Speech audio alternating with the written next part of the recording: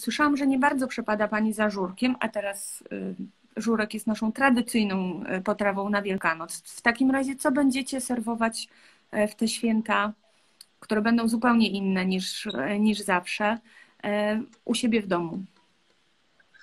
Ja mam trochę problem w ogóle z Wielkanocą, dlatego że mm, e, ja po zjedzeniu tych wszystkich tradycyjnych, bardzo polskich potraw wielkanocnych e, czuję się strasznie pełna. Nie ma co ukrywać, że mam też problem z kilogramami dodatkowymi. Mam różne swoje schorzenia, które też e, nie ułatwiają mi te sprawy. Teraz mamy jeszcze kwarantannę, więc za chwilę się wszyscy z niej po prostu wytoczymy kwadratowo. Więc ja mam rzeczywiście problem Wielkanocą, bo proszę zwrócić uwagę, że Boże Narodzenie, tam jest dużo kiszonek, tam są grzyby, tam są ryby. Nie, możemy, nie musimy tej ryby usmażyć, możemy ją upiec, ale tam jest rzeczywiście bardzo dużo takich potraw warzywnych, prawda? Nie ma mięsa. A tutaj na stole są tak pasztet, kiełbasy, kiełbasy, żurek na boczku, dużo jajek, więc tam jest bardzo dużo białka w tym wszystkim, jest dużo tłuszczu. Więc tam, gdzie mogę, to staram się robić, żeby to była zupa, która oczywiście nawiązuje do wiosny, do Wielkanocy, do jajek i tak dalej, ale żeby jednak mimo wszystko była lżejsza. Ja jestem ogromną fanką, o tej porze roku jeszcze nie ma i nie będę ich szukać w tym roku, szparagów, ale zdarzały się takie mm, Wielkanoce, że już te szparagi były, były. więc robiłam zupę szparagową. W tym roku zrobię zupę z zielonego grosza, który jest mrożony. Mam zamrożony zielony groszek. Do mrożonek, proszę pamiętać, niczego się nie dodaje, nie dodaje się soli, cukru, barwników, niczego.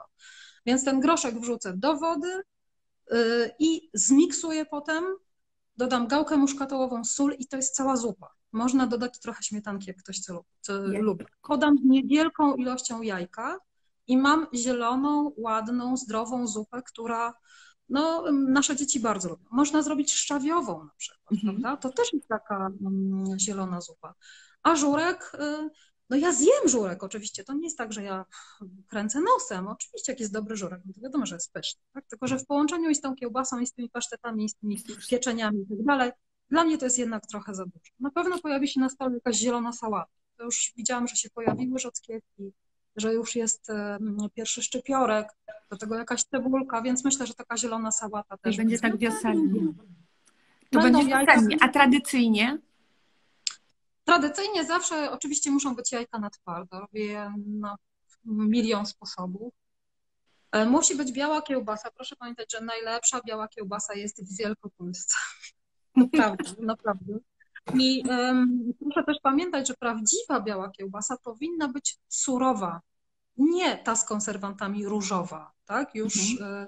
parzona, tylko ona powinna być surowa, bo w momencie nawet, kiedy gotujemy żurek i wrzucimy tę surową kiełbasę, to ta surowa kiełbasa odda smak do tego żurka, prawda?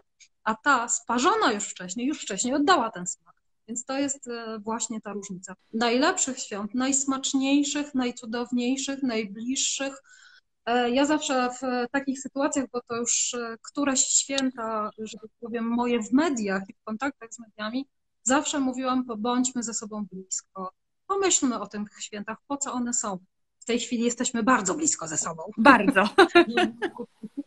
Więc tego wszystkim nie muszę życzyć, bo to, bo to już mamy ale bardzo bym życzyła, żeby te święta były smaczne i żeby były pełne nadziei. I to, co mogę powiedzieć, bo bardzo pilnie śledzę z racji też mojego zawodu dziennikarskiego, to, co się dzieje z e, tym paskudnym wirusiskiem na świecie, że powoli, powoli statystyki we Włoszech i w Hiszpanii się poprawiają, że będzie lepiej, że jest światełko w tunelu, że może to jeszcze trochę potrwać, ale to nie będzie tak, że będzie to trwało wiecznie.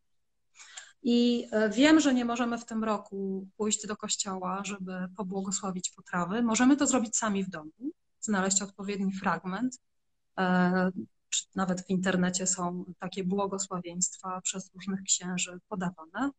E, nie możemy iść na mszę, ale możemy zawsze obejrzeć transmisję.